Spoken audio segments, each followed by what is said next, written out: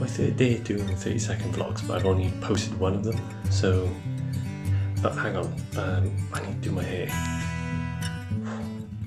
Right, yeah, hair's looking much better now.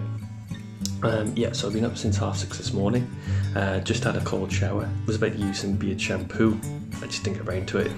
Reason is it's because I was having a cold shower. I couldn't think of anything else apart from get out of there as quickly as I could. Yeah, so what we're looking to do today is Cole's going to sleep till 11 and I'm going to start preparing to take him out for a walk uh, for an hour just before his lunch. Hopefully that goes to plan. If not, then I'm going to take him later. I'm not sure where I'm going yet. Maybe not the canal because it's Bank Holiday Monday. Going to try for something a little bit quieter. But if you like this video, please subscribe and uh, leave a comment and a like.